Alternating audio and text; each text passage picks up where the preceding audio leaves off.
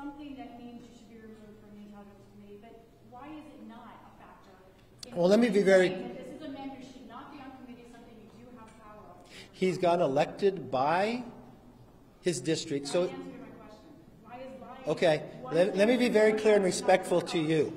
You ask me a question. When I answer it, it's the answer to your question. You don't get to determine whether I answer your question or not, okay? In all respect. Thank you. No, no, let's answer her question. You just raised a question. I'm going to be very clear with you. The Intel Committee is different. You know why?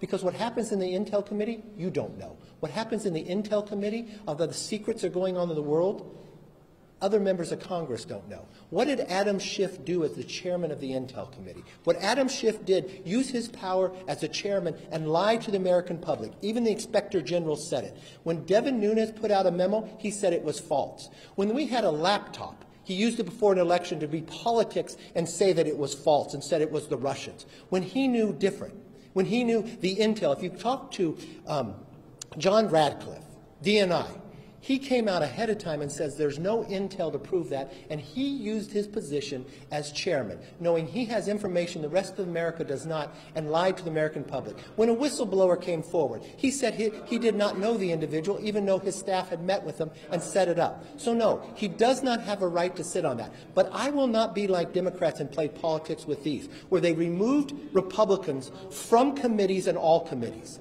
So yes, he can serve on a committee, but he will not serve on Intel because it goes to the national security of America. And I will always put them first. All right? Let's talk about Swalwell because you have not had the briefing that I had.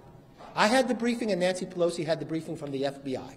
The FBI never came before this Congress to tell the leadership of this Congress that Eric Swalwell had a problem with a Chinese spy until he served on Intel. So this has nothing to do with Santos. Santos is not on the Intel committee. But you know what? Those voters elected Schiff, even though he lied. Those voters elected Swalwell, even though he lied to the American public too. So you know what? I'll respect his voters too.